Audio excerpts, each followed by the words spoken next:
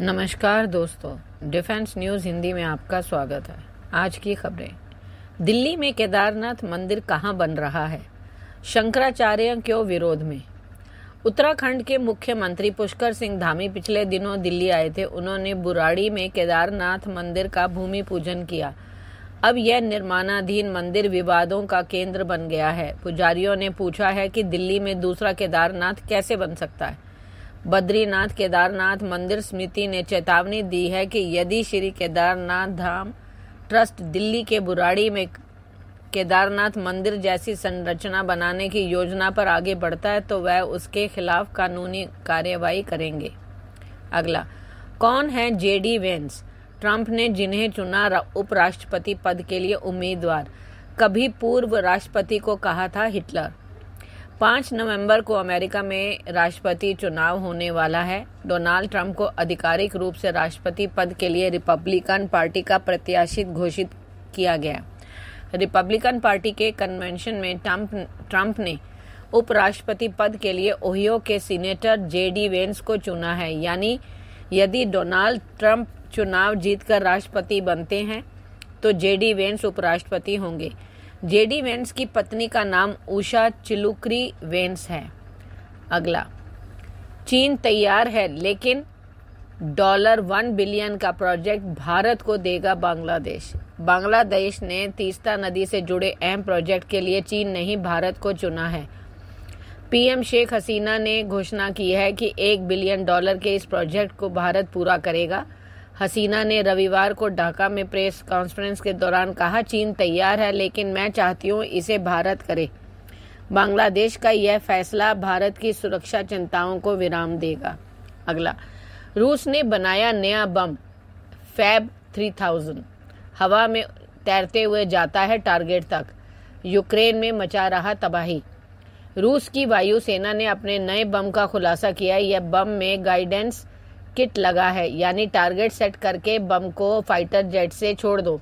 बम हवा में तैरते हुए टारगेट को बर्बाद कर देगा। इसका नाम फैब थ्री थाउज़ेंड है। इस ताकतवर रूसी बम का इस्तेमाल यूक्रेन में धड़ल्ले से किया जा रहा है। ये जहाँ गिरता है, वहाँ सिर्फ़ सिर्फ़ राख बचती है। रूस के रक्षा मंत्रालय ने एक वीडियो जारी करके इसके नए बम को पेश किया है। इस बम का इस्तेमाल रूसी वायुसेना कर रही है। इस एरियल बम का नाम है फैब 3000 यह बम में नया गाइडेंस सिस्टम लगा है। ये पुराने बमों की तरह सीधे नहीं गिरता। अगला, रूस और यूक्रेन जंग के बीच भारत से क्या चाहता है अमेरिका? रूस और यूक्रेन के बीच जंग जारी है। इस बीच रूस के साथ भारत के पुराने संबंधों का ज़िक्र करते हुए अमेरिका ने कहा कि उसने नई दिल्ली से आग्रह किया है कि मॉस्को के साथ अपने संबंधों को इस्तेमाल कर रूसी राष्ट्रपति व्लादिमीर पुतिन से यूक्रेन के खिलाफ अवैध युद्ध को समाप्त करने की अपील करे। अमेरिकी विदेश मंत्रालय के प्रवक्ता मैथ्यू मिलर ने अपने दैनिक संवाददाता सम्मेलन में कहा, भारत के रूस के साथ बहुत पुराने संबंध है। मुझे लगता है कि यह बात सभी को पता है। हमने भारत को प्रोत्साहित किया है। वह रूस के साथ इन पुराने संबंधों, अपनी अनूठी स्थिति का इस्तेमाल करे और राष्ट्रपति पुतिन से युद्ध समाप्त करने इस संघर्ष को न्यायपूर्ण एवं स्थायी शांति हासिल करने और संयुक्त राष्ट्र चार्टर, यूक्रेन की क्षेत्रीय अखंडता एवं संप्रभुता का सम्मान करने का आग्रह करे। अगला, चंद्रमा पर जहाँ उतरे थे नील आर्मस्ट्रॉन्ग वहाँ से कुछ दूरी पर मिली गुफा। अंतरिक्ष यात्रियों का बन सकती है नया ठिकाना।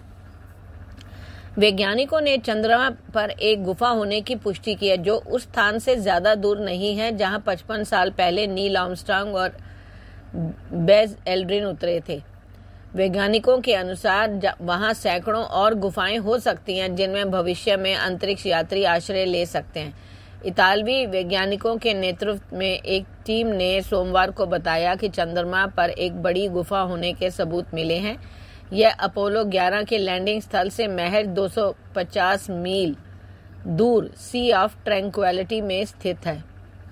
यह गड्ढा वहाँ खोजे गए 200 से अधिक अन्य गड्ढों की तरह एक लावा ट्यूब के बहने से बना है।